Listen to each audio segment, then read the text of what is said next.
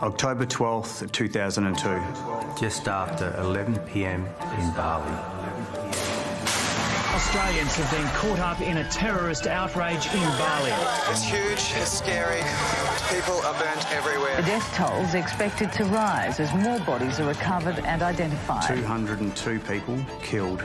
Seven of them were my mates. One of them was my dad.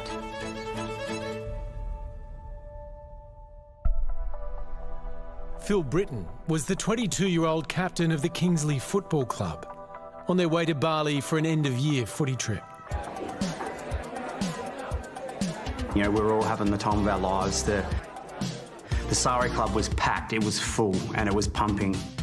Megan was 14 at the time.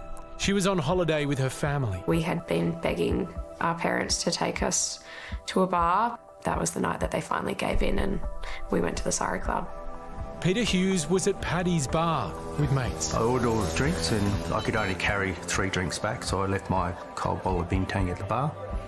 When I, when I actually turned around, or to turn around to go and get my beer, I actually didn't quite get my beer. There was a click.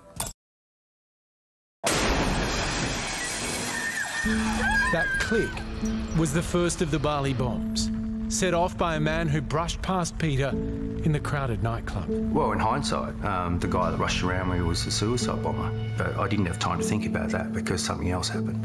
A van packed full of explosives exploded out the front of the Sari Club. This is horrendous. I've never seen anything like it. People are burnt everywhere. I just don't believe what happened here tonight. I'm, I'm launched through the air. I hit, hit crunch. I'm, I'm wedged between this back bar. I've got a wall behind me, and I've got bodies all over me.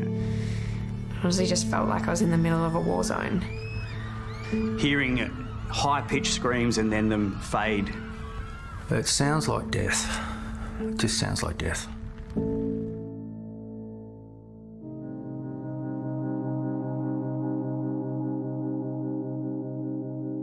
Phil Britton escaped the Sari Club and made it to hospital.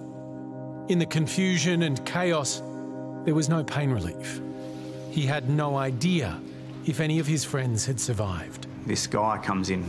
And he, he, asked, Does anyone know you're here? And I, I said, I, don't know. He said, Can I call someone? And uh, I said, Can you call my mum? and uh, so I managed to get my mum's phone number. I told my mum, I said, Mum, I'm, I'm, I'm burnt. Uh, but I'm okay. But I need some help. That was an understatement. The recovery has been long and arduous, and uh, obviously being burnt to 60% of my body, uh, my teeth blown out, uh, shrapnel wounds. Um, I had over 40 blood transfusions in hospital. He had to learn to walk again and battled with alcohol and depression. He credits martial arts for getting his life back on track. I had to understand that I was no longer the Phil Britton that I used to be, and that I had to learn to become the Phil Britton that I am. And rather than seeing ugly scars that no one would want uh, or love, that maybe they're just a badge of honour. An honour he's now had inked for the seven mates he lost 20 years ago. And uh, it was really hard just to to have that moment be the moment that you you don't even get to say goodbye. Just they're gone.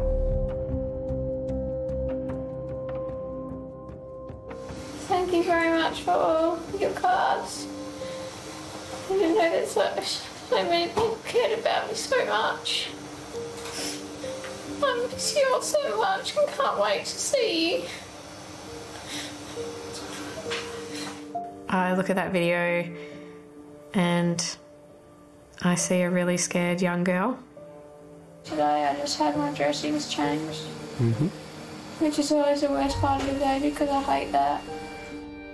Megan Basioli was one of the youngest survivors of the Bali bombings.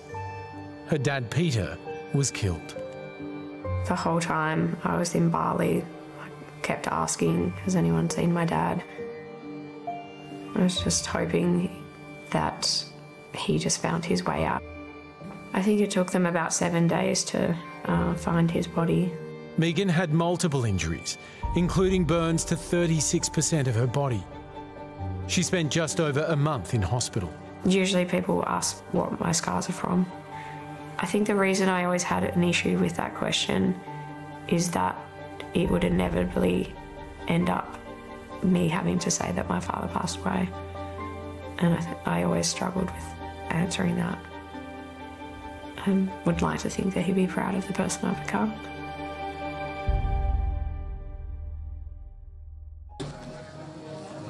Mate, what's your name? Uh, Peter Hughes. Yes, where are you from, Pete? Uh, from Perth. Perth. Yeah, it's, uh, you know, it's all right, guys, I'm okay. When I My son see those images that come back, I see somebody that um, was a good liar.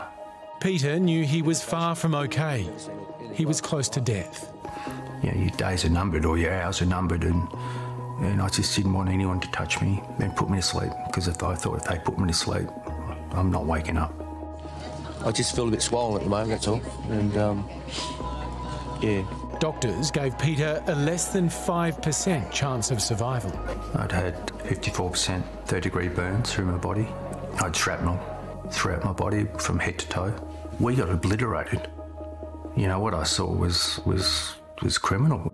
Peter Hughes travelled back to Bali to testify against the accused terrorists.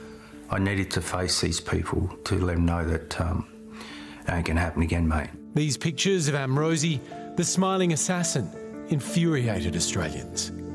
But Peter Hughes saw something the cameras didn't capture. What I saw with Amrozi really was was a coward, and this guy was shitting himself. Amrozi, his brother Mukhlas, and Imam Samudra were executed for their roles in the Bali bombings. As for Peter, he was awarded a bravery medal for the lives he saved.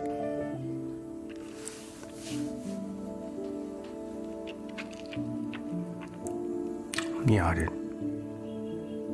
It's hard. Um, yeah, it's hard. It's hard. It's something I don't really want to talk about. It was the people that I couldn't. It was the people I couldn't save. That was the problem. Men, you know, young men, young women. Oh my God. No, I'm not. I'm not the hero you think I am. I think reflecting back, I always felt like I could have done more.